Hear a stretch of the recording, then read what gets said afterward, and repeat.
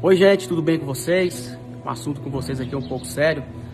É, todo final de ano eu costumo fazer todos os meus exames de rotina, um check-upão geral, né?